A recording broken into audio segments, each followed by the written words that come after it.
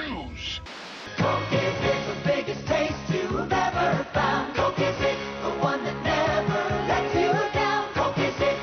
The key to faking out the parents is the clammy hands. It's a good non-specific symptom. I'm a big believer in it. Gummy bears bouncing here and there and everywhere. Two all beef patty, special sauce, lettuce, cheese, pickles, onions, and a sesame seed bun. It's your McDonald's Big Mac. You've got to taste it to believe it, you know what I mean? There's nothing scary to watch on TV, dude. That's what you think.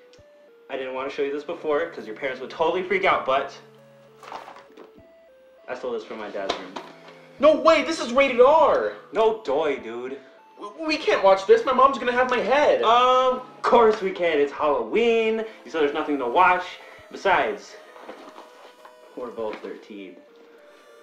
You're 12. I'm 13. 12 and a half. Give me that. Wait, wait, wait, wait, wait. I'm not too sure about this. Stop being a baby, okay? This is going to be bad.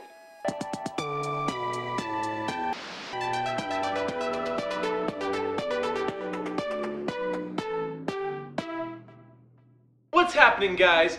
This is Halloween, this is Halloween. no. Well, I mean it is, but also this is Alien Isolation, the raddest alien game to come out in recent years.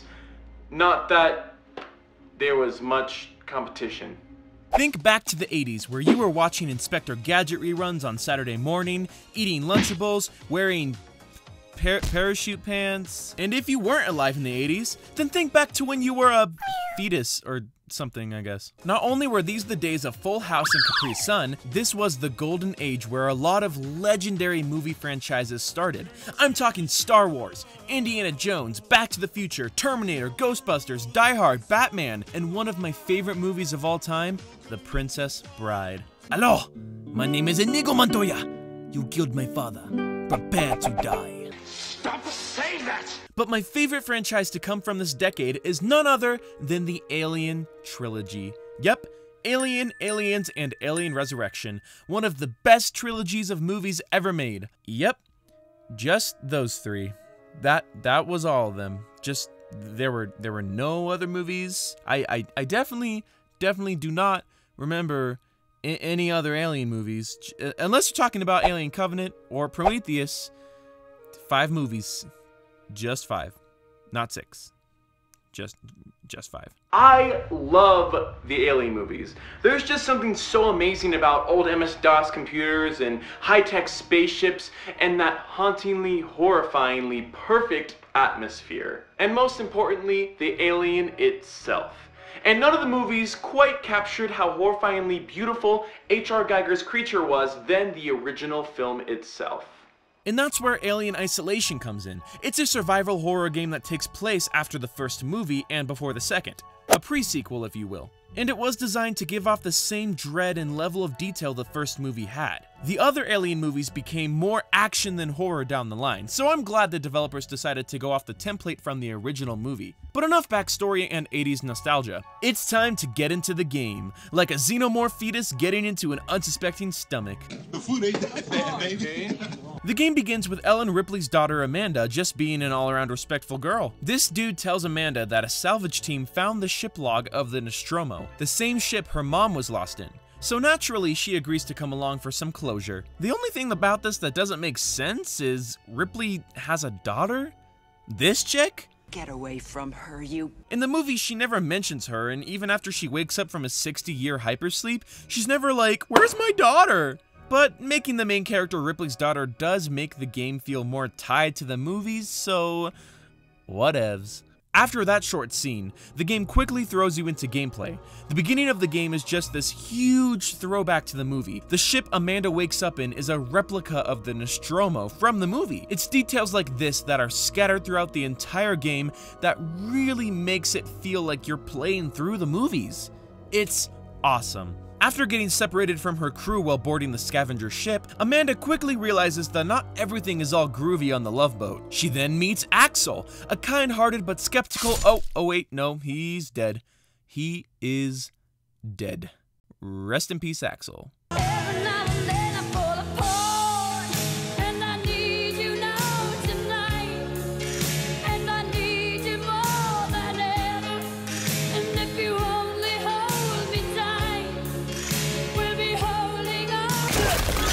See, even though the alien is obviously the main threat of the game, there are also other humans you have to watch out for because even though you're obviously not an alien, these guys apparently can't tell the difference. But what scared me the most during my playthrough wasn't the alien or the humans, it was the androids. These guys are terrifying. They patrol around and if they see you, they just walk towards you at a brisk pace, emotionless.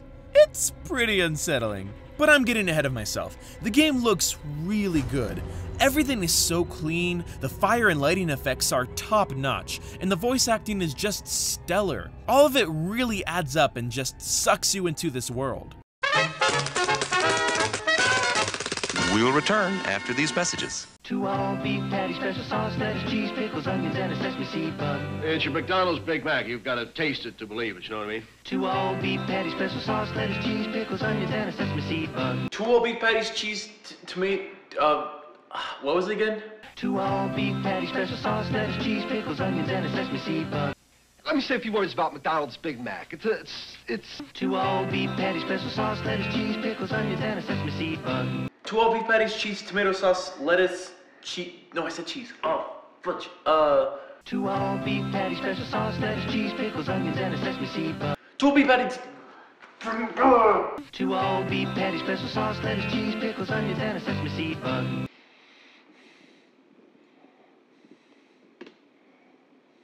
You deserve a break today at McDonald's. Where your dollar gets a break every day. The atmosphere of Alien Isolation is the best part about it. Not only does everything look like it's ripped straight out of the movie, it also perfectly gives that feeling of hopelessness. The darkness, the quiet, the overturned tables and ripped apart floors everywhere, the green and red hues covering it all, it's all just so creepy. This game is polished so well with so many little details that just immerse you. Like how you can always see your hands when you interact with things. You might not think that's a big deal, but you'd be surprised at the amount of first person games that omit this detail. What won't be the most immersive thing about Alien Isolation is its use of the PS4 controller. See, in the game you have this motion tracker, and whenever there's something around you, it beeps. And when it beeps, the light on the back of the controller flashes to match, as well as all the sounds from the motion tracker going through the speaker on the remote itself. It might sound kinda lame, but trust me, it's really cool. But all this is just fluff. The main attraction is the alien itself. And boy howdy does he look cool. The alien is almost completely randomized in this game, so besides a small handful of choreographed moments, everything the alien does is random, and that just makes it that much more terrifying. He could be in the same rooms, he could be gone for a little bit, he could come from the ceiling right on top of you, or just be lurking in the hallway right in front of you. It's super unsettling. Luckily, there are plenty of desks, tables, and lockers to hide in everywhere. And trust me, you will have to hide because you can't kill this thing. The only thing that can keep him at bay is the flamethrower, which you get about 3 fourths through the game. At first I didn't like the flamethrower because I thought it took all the fear out of the alien segments, and it did. But once I realized the fuel for the flamethrower was few and far in between, I was reminded at how unforgiving the game can be.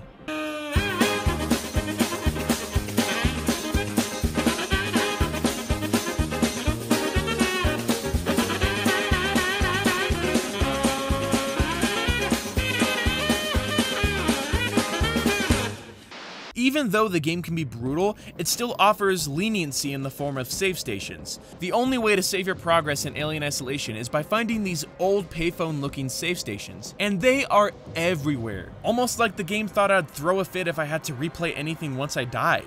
But the game kinda makes up for it by letting you die while you save. That's right, even when you're waiting to save the game, you can get stabbed through the chest by our parasite friend. Alien Isolation is an amazing game, and one of my favorites. I couldn't find much wrong with it aside from it being a little easy at times, but there are much harder modes than the one I played, so that probably fixes it. I will, however, also say that this is one of those games where the end drones on forever. I won't spoil anything, but I thought the game was over when I had almost 6 hours left. With such strong ties to the movies through the atmosphere, story, and even soundtrack ripped straight from the first film, this game is all an Alien fan could ever want. In fact, now I want to go watch those movies again. They all still hold up today. Yeah, they were they were all really good. I I don't remember a single bad one. Not none of them were bad. They were all good. Mm, all good. Just, mm, There wasn't ever one that was bad at all. Nope. Mm, Can't can't can't recall any anyone like that. Nope. Alien Isolation is a joy to play. I had a blast from start to finish. It's not your typical run-of-the-mill, scary, ghost-filled zombie vampire horror game, but it still scratched my spooky itch. You can actually get the game on the PSN store for 5 bucks and $11 gets you all of the DLC for the game. Even if you don't have a PS4, the game is still pretty cheap on most other consoles.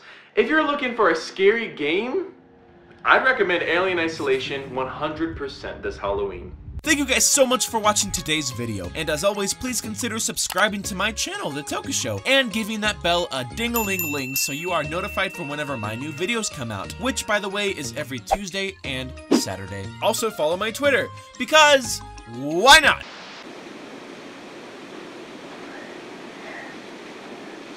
You're still here?